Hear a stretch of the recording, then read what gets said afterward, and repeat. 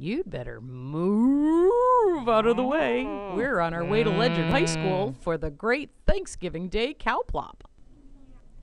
People are buying up Ledyard land faster than you can say. Ooh. What? Haven't you heard?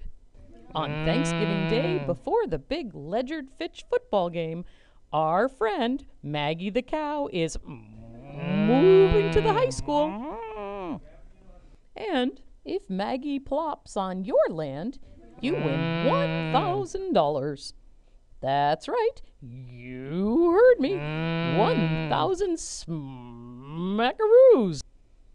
There are still some plots of land for sale, so buy your own piece of land now before they're all gone. Message Liz Wilson today and tell her you want to get in on the fun.